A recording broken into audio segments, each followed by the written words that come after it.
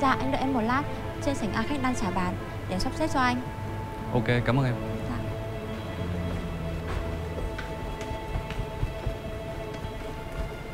Thành ý. Cô ấy biết anh lấy vợ. Thế nên Đây chỉ là nụ hôn chào tạm biệt thôi. Sao em cứ phải căng thẳng đến thế nhỉ Anh đừng nói gì nữa Đấy là anh đi ban phát sự thương hại. Em phải nghĩ thoáng lên chứ. Chán em thật đấy. Nếu hôm nay em không tận mắt nhìn thấy Thì hai người còn định làm đến bước nào nữa? Phải đến mức độ nào Thì anh mới cảm thấy không chán? Anh hiểu. Là đầu óc của em chưa suy nghĩ thông suốt.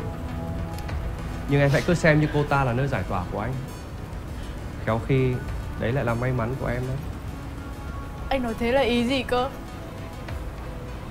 May mắn á. Em thử nghĩ xem. Công việc của anh thì em không hiểu. Anh ra ngoài đi giao lưu với bạn bè. Em đi theo thì không hợp.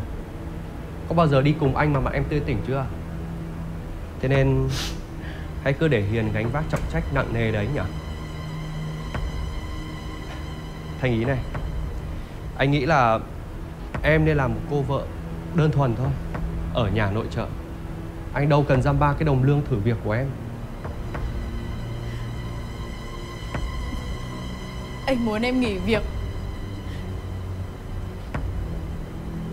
Anh coi thường công việc của em. Em cứ yên tâm. Hôm nay mình cưới nhau rồi mà. Em sợ gì mà không được ghi tên vào sổ đỏ ở nhà anh?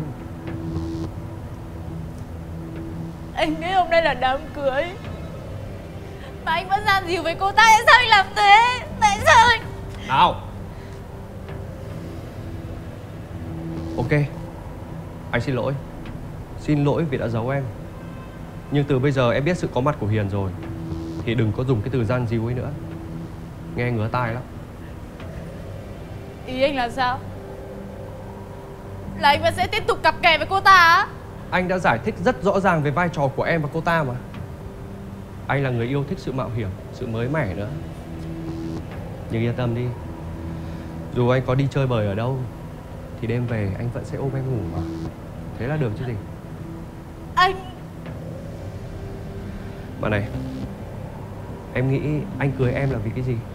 Chẳng qua là do mẹ anh khuyên Nên cưới một cô vợ ngu ngốc một chút. Yên phận ở nhà rửa bát Thế cho dễ bảo nhỉ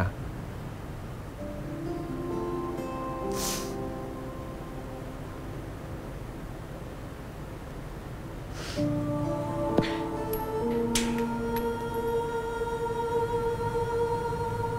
đi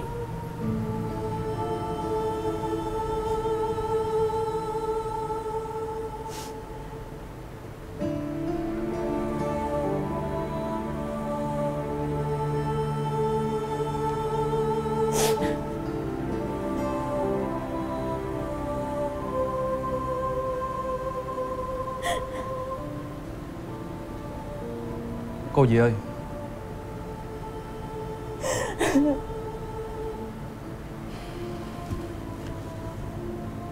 Cô có sao không? tôi, tôi xin lỗi ạ.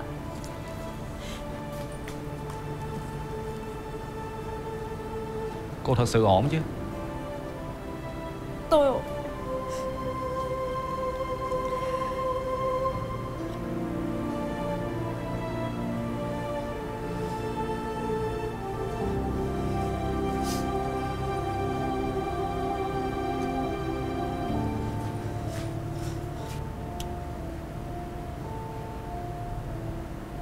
Mới vừa về nước Đã gặp phải một câu chuyện drama rồi